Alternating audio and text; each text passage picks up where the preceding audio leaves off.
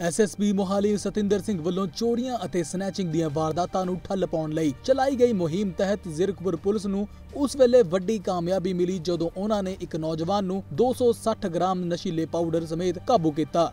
ਕਾਬੂ ਆਏ ਨੌਜਵਾਨ ਨੇ ਪੁਲਿਸ ਤਫਤੀਸ਼ ਦੇ ਦੌਰਾਨ ਲੁੱਟਾਂ ਖੋਹਾਂ ਦੀਆਂ ਵਾਰਦਾਤਾਂ ਨੂੰ ਕਬੂਲਿਆ। ਪੱਤਰਕਾਰਾਂ ਨਾਲ ਗੱਲਬਾਤ ਕਰਦਿਆਂ ਹੋਏ ਡੀਐਸਪੀ ਜ਼ਿਰਕਪੁਰ ਅਮਰੋਜ਼ ਸਿੰਘ ਨੇ ਦੱਸਿਆ ਕਿ ਐਸਐਚਓ ਜ਼ਿਰਕਪੁਰ ਰਾਜਪਾਲ ਸਿੰਘ ਗਿੱਲ ਅਤੇ ਉਹਨਾਂ ਦੀ ਟੀਮ ਵੱਲੋਂ ਬੀਤੀ ਰਾਤ ਸਥਾਨਕ ਪਿੰਡ ਗਾਜ਼ੀਪੁਰ ਨੇੜੇ ਨਾਕਾ ਲਗਾ ਕੇ ਇੱਕ ਵਿਅਕਤੀ ਨੂੰ 260 ਗ੍ਰਾਮ ਨਸ਼ੀਲੇ ਪਾਊਡਰ ਸਮੇਤ ਕਾਬੂ ਕੀਤਾ, ਜਿਸ ਖਿਲਾਫ ਮੁਕੱਦਮਾ ਦਰਜ ਕਰਕੇ ਅਗਲੀ ਪੁੱਛ ਪੜਤਾਲ ਵਾਸਤੇ ਰਿਮਾਂਡ ਵਿੱਚ ਲੈ ਲਿਆ ਗਿਆ ਹੈ ਰਿਮਾਂਡ ਦੌਰਾਨ ਉਸਨੇ ਵੀਆਈਪੀ ਰੋਡ ਤੇ ਜ਼ਿਰਕਪੁਰ ਦੇ ਵੱਖ-ਵੱਖ ਏਰੀਆ ਵਿੱਚੋਂ ਖੋਹੀਆਂ ਗਈਆਂ ਸੋਨੇ ਦੀਆਂ ਤਿੰਨ ਚੈਨੀਆਂ ਬਰਾਮਦ ਕਰਵਾਈਆਂ। ਇਸ ਤੋਂ ਇਲਾਵਾ ਕੁਝ ਦਿਨ ਪਹਿਲਾਂ ਹੀ ਵੀਆਈਪੀ ਰੋਡ ਤੋਂ ਖੋਇਆ ਗਿਆ ਮੋਬਾਈਲ ਫੋਨ ਵੀ ਇਸ ਦੋਸ਼ੀ ਵੱਲੋਂ ਬਰਾਮਦ ਕੀਤਾ ਗਿਆ। ਡੀਐਸਪੀ ਅਮਰੋਜ਼ ਸਿੰਘ ਨੇ ਦੱਸਿਆ ਕਿ ਜਿਸ ਮੋਟਰਸਾਈਕਲ ਤੇ ਇਹ ਵਿਅਕਤੀ ਜਾ ਰਿਹਾ ਸੀ, ਉਹ ਮੋਟਰਸਾਈਕਲ ਵੀ ਚੋਰੀ ਦਾ ਸੀ ਅਤੇ ਉਸ ਉੱਪਰ ਜਾਲੀ ਨੰਬਰ ਲਗਾਇਆ ਗਿਆ ਸੀ। ਉਹਨਾਂ ਦੱਸਿਆ ਕਿ ਇਹ ਨੌਜਵਾਨ ਨਸ਼ੇ ਦਾ ਆਦੀ ਹੈ ਅਤੇ ਨਸ਼ੇ ਦੀ ਲਤ ਪੂਰੀ ਕਰਨ ਦੇ ਲਈ ਅਜਿਹੀਆਂ ਵਾਰਦਾਤਾਂ ਨੂੰ ਅੰਜਾਮ ਦਿੰਦਾ ਸੀ।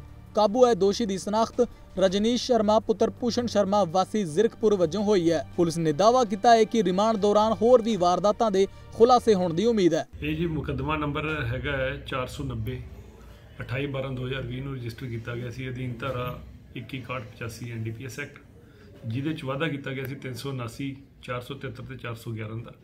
ਇਹਦੇ ਵਿੱਚ ਅ, ਸਾਡੇ ਐਸਐਚਓ ਸਾਹਿਬ ਦੀ ਅਗਵਾਈ ਚ ਤੇ ਥਾਣੇਦਾਰ ਅਜੀਤ ਸਿੰਘ ਵੱਲ ਦੀ ਪਾਰਟੀ ਵੱਲੋਂ ਨਾਕਾ ਲਗਾਇਆ ਗਿਆ ਸੀ ਗਾਜੀਪੁਰ ਰੋਡ ਤੇ, ਜਿੱਥੇ ਇਸ ਦੋਸ਼ੀ ਨੂੰ ਸ਼ੱਕ ਦੇ ਆਧਾਰ ਤੇ ਰੋਕਿਆ ਗਿਆ। ਜਦੋਂ ਇਹਦੀ ਤਲਾਸ਼ੀ ਲਈ ਗਈ ਤੇ ਇਹਦੇ ਤੋਂ 260 ਗ੍ਰਾਮ ਇਹਦੇ ਤੋਂ ਚਿੱਟਾ ਪਾਊਡਰ, ਨਸ਼ੀਲਾ ਪਾਊਡਰ ਫੜਿਆ ਗਿਆ।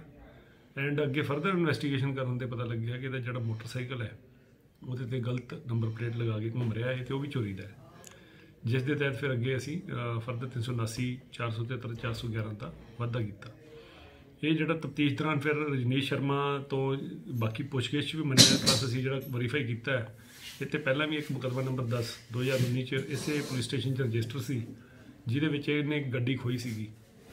ਐਂਡ ਇਸ ਦੇ ਇਲਾਵਾ ਇਹਦੇ ਤੇ ਤਿੰਨ ਅ, ਮੁਕੱਦਮੇ ਹੋਰ ਜਿਹੜੇ ਦਰਜ ਸੀਗੇ ਚੇਨੀਆਂ ਚਪਟ ਕਰਨ ਦੇ ਪਲੱਸ ਇੱਕ ਮੋਬਾਈਲ ਖੋਹਣ ਦਾ। ਸਾਡੀ ਹੁਣ ਜਿਹੜੀ ਰਿਕਵਰੀ ਹੈ ਇੱਕ ਮੋਬਾਈਲ ਤਿੰਨ ਚੈਨਾਂ ਅਤੇ ਇੱਕ ਮੋਟਰਸਾਈਕਲ ਜਿਹੜਾ ਚੋਰੀ ਦਾ ਉਹ ਅਸੀਂ ਇਹ ਤੋਂ ਰਿਕਵਰ ਕੀਤੇ ਹੈ। 260 ਗ੍ਰਾਮ ਨਸ਼ੀਲਾ ਪਾਊਡਰ ਰਿਕਵਰ ਕੀਤਾ ਹੈ ਤੇ ਅੱਗੇ ਜਿਹੜੀ ਕਾਨੂੰਨੀ ਕਾਰਵਾਈ ਅਸੀਂ ਅਮਲ ਚ ਲਿਆ ਰਹੇ ਹਾਂ। ਇਹ ਇਹਨੇ ਇੱਥੋਂ ਲੋਕਲ ਜ਼ੀਰਕਪੁਰ ਤੋਂ ਹੀ ਖੋਇਆ ਸੀਗਾ। ਤੇ ਚੇਨੀਆਂ ਵੀ ਇਹਨੇ ਇੱਥੇ ਲੋਕਲ ਜ਼ੀਰਕਪੁਰ ਤੋਂ ਤੁਰਦੇ ਫਿਰਦੇ। ਜਿਹੜਾ ਵੀ ਇਹਨੂੰ ਕੋਈ ਲੱਗਦਾ ਸੀਗਾ ਵਲਨਰੇਬਲ ਲੇਡੀਜ਼ ਜਾਂ ਕੋਈ ਬੰਦਾ ਉਹ ਤੋਂ ਫਿਰ ਇਹ ਆਪਦਾ ਐਜ਼ ਆ ਮਤਲਬ ਉਹ ਸਨੈਚਿੰਗ ਕਰ ਲੈਂਦੇ ਸੀ। ਤੇ ਜਦ ਉਹਦਾ ਬੇਸਿਕਲੀ ਏਮ ਇਹੀ ਹੁੰਦਾ ਸੀਗਾ ਕਿ ਉਹਨੂੰ ਵੇਚ ਕੇ ਜਿਹੜੇ ਕੋਈ ਪੈਸੇ ਪ੍ਰਾਪਤ ਹੁੰਦੇ ਉਹ ਤਾਂ ਨਸ਼ਾ ਵੇਚਦਾ ਵੀ ਸੀ ਤੇ ਕਰਦਾ ਵੀ ਸੀ। ਕਾਰ ਨਹੀਂ ਬਰਾਮਦ ਹੋਈ। ਬਟ ਇਹ ਤੇ ਮੁਕਦਮਾ 10 8/19 ਨੂੰ ਅਸੀਂ ਰਜਿਸਟਰ ਕੀਤਾ ਸੀ ਇਸੇ ਪੁਲਿਸ ਸਟੇਸ਼ਨ 'ਚ। ਉਹ ਅਜੇ ਫਰਦਰ ਇਨਵੈਸਟੀਗੇਸ਼ਨ 'ਚ ਅਸੀਂ ਰਿਕਵਰ ਕਰਾਂਗੇ। ਇਹਦਾ ਸਾਡੇ ਕੋਲ ਰਿਮਾਂਡ 3 ਦਿਨ ਦਾ ਸੀਗਾ?